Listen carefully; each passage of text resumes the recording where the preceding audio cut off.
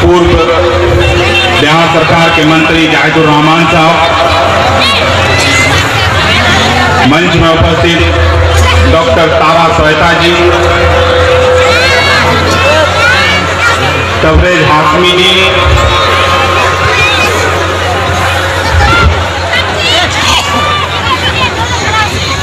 नौजवान साथी। दूर दराज से आइए आए गार्जनों और खास करके हमारे माता और बहनों। इसको शेयर भी कीजिए ज़्यादा से ज़्यादा मैं खास करके अपने माता बहनों से गुजारिश करना चाहूँगा कि ध्यान पूर्वक सुनिए ये कोई छोटा मोटा लड़ाई नहीं है जो हम लोग जलसा सुनने के लिए आ गए। सुन करके चले गए। ये इतना बड़ा लड़ाई है जो आज पूरे भारत के लोग परेशान है। लेकिन जाहिल प्रधानमंत्री, नालायक गृह मंत्री कान में तेल देकर के सोया हुआ है। आँख में पट्टी बाँध करके सोया हुआ है। इसीलिए मैं गुजारिश करूँगा कि ये जाहिल प्रधानमंत्री, नालायक गृह मंत्री से लड़ने के लिए हम लोगों को एकजुटता के साथ, गंभीरता के साथ, संविधान के दायरे में हम लोगों को प्रोटेस्ट करना होगा। हम लोग दिसंबर में जब तेरह तारीख को पहला प्रोटेस्ट किए थे तो उस दिन लग रहा था कि हम अकेले निकले हैं। लेकिन आज तो हम गर्व के साथ कहना चाहेंगे कि आज तो गाँव गाँव तक ये प्रोटेस्ट निकल चुका है। आज ये आंदोलन का रूप ले लिया है। इसीलिए जब आंदोलन का कोई भी चीज़ रूप ले ले तो उस चीज़ को जीतना बहुत आसान हो जाता है। मैं मिस्टर मोदी से बात करना चाहूँगा। रास्ता इधर से जा रहा है लोग। मिस्टर मोदी जी आपने जब एनआरसी सीए और एनपीआर जो भारत के लोगों के माथे में थोपा है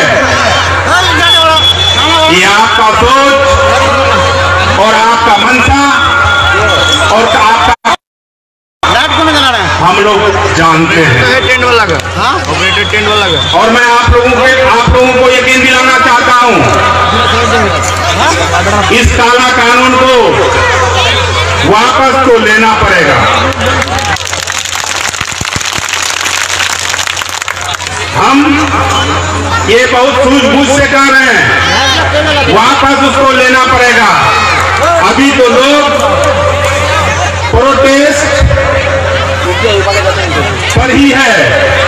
धरने पर उतर आए हैं। लेकिन जब आंदोलन का दूसरा रूप ले लेगा तो मिस्टर मोदी आप सुने होंगे। हिटलर का कहानी सुने होंगे। नमरूद का कहानी सुने होंगे। फिरौन का कहानी सुने होंगे। और हम लोगों ने इतिहास में पढ़ा था। कुरानों में पढ़ा था। महाभारत में सुना था। क्या हाल हुआ था? ठीक इसी तरह। हिटलर।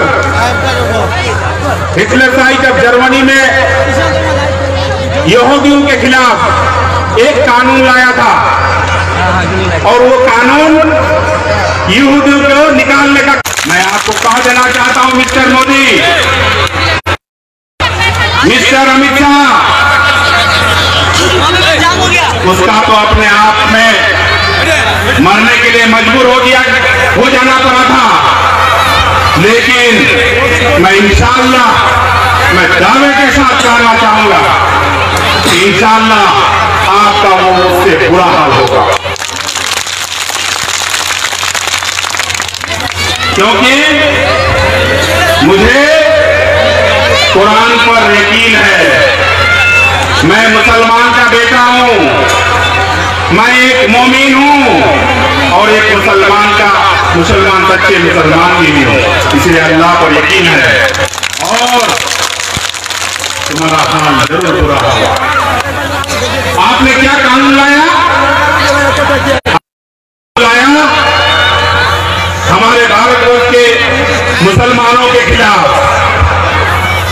हमारे भारत के दलित के खिलाफ, हमारे भारत के महादलित के खिलाफ, हमारे भारत के आदिवासी के खिलाफ, आपको मैं बता देना चाहता हूँ, एनपीआर का ही दूसरा रूप एनआरसी है।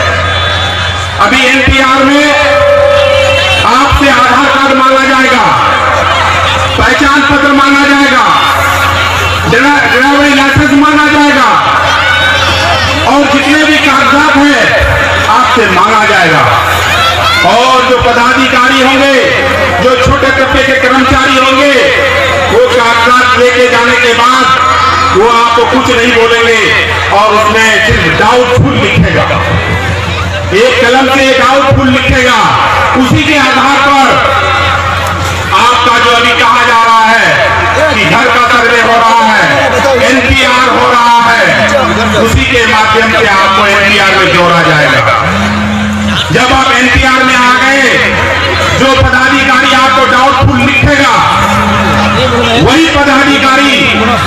के माध्यम से आपका सूची चला जाएगा। सूची जाने के बाद लिखा जाएगा वो ब्लॉक में टांग दिया जाएगा लिस्ट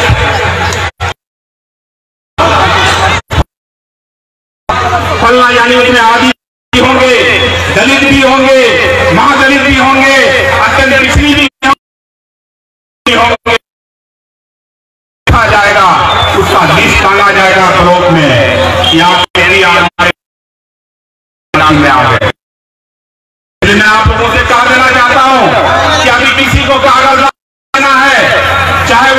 सुधार हो, चाहे क्या कहते हैं मामला हो, कोई भी सरकार नहीं लेना है हमको।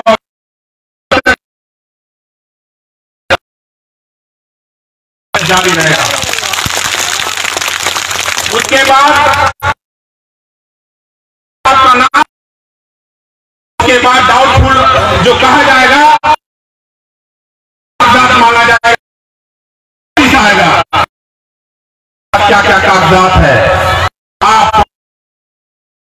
खाता पाता ब्याता वो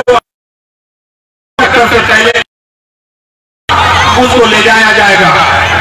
उसके आधार पर उसको बचत हो जाएगा।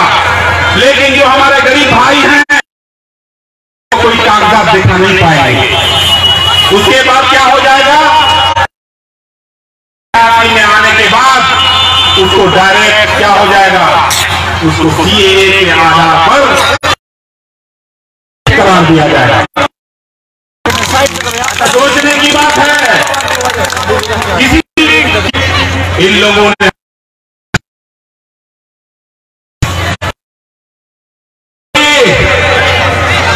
नालायक गृह मंत्री, तुम कान तुम दोनों चुका है। इसलिए आप मैं ज़ुबान खराब नहीं करना चाहता हूँ। और मैं तुमको चैलेंज करना चाहता हूँ कि तुम्हारे अंदर अगर दम है तो तौसीफ आलम को रेस्ट करके दिखा दो। अरे एक तौसीफ को करोगे, पैदा हो जाएगा।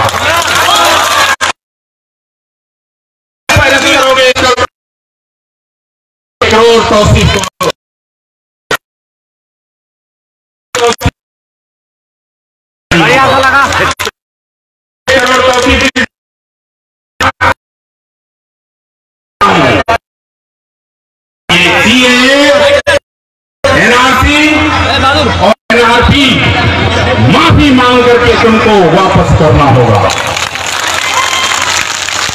माफ़ी तुमने तुम लोगों ने चैलेंज के फ़ाइल खुलेंगे तुम्हारे ऊपर मुकदमा होंगे मुकदमा के आधार पर कोई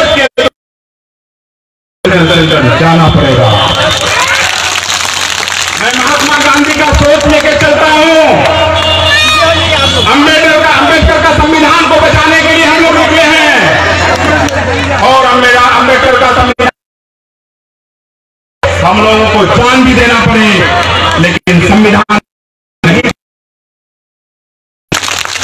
तुम क्या सोचते हो?